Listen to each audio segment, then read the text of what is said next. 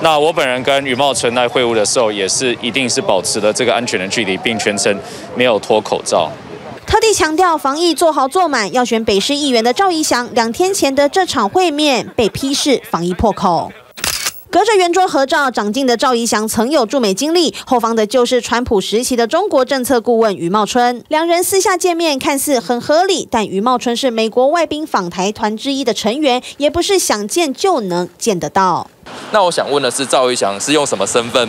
难道他还是现在驻美政治组的组长？不是嘛？他只是一个名人。我觉得他身为这个吴钊燮的爱将，也不能这样子特权的去啊用利用外交泡泡的这个办法，然后去接近余茂春。和赵一翔同要角逐丹文山议员的杨之斗，看到图片满头问号。毕竟国际访团旋风来台，脚步很紧凑，但不是政府或政党官员的赵一翔，却能私下见余茂春一面。其实杨之斗如果要质疑的话，也可以质疑他自己同党，因为余茂春也是要有跟这个他同党的一些人，也有私下有一些聚会哈。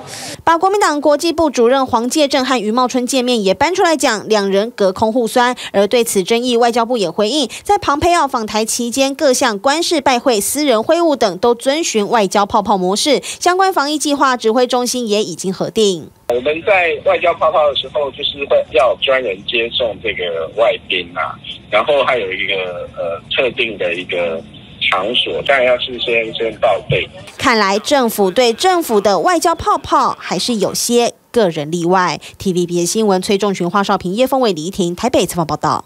请支持一个专门报道国际新闻的全新 YouTube 频道 TVBS 国际 Plus，扩大视野，掌握趋势，请订阅并开启通知小铃铛。